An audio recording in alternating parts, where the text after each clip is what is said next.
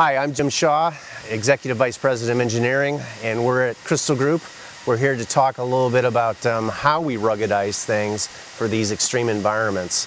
Um, earlier we talked about ruggedized COTS, and this uh, segment is really kind of to discuss quickly what we mean or by, by ruggedizing the COTS solutions.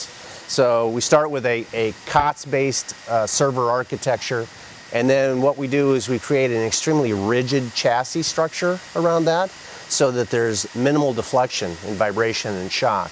We also use uh, dielectric potting compounds and conformal coatings to protect the, the circuit boards and electronics from any kind of moisture or damage.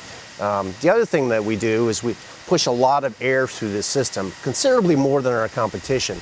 We typically run much, much cooler than the competition because of lack of pressure drop, and increased airflow through the system. We also have redundant fans, so any one fan could, could uh, fail and the system's fine.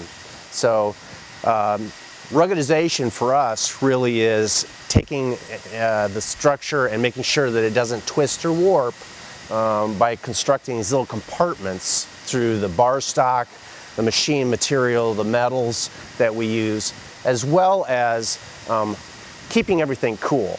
So that combined with our EMI performance really is how we accomplish ruggedization. Join us next time for another shiny object at Crystal Group.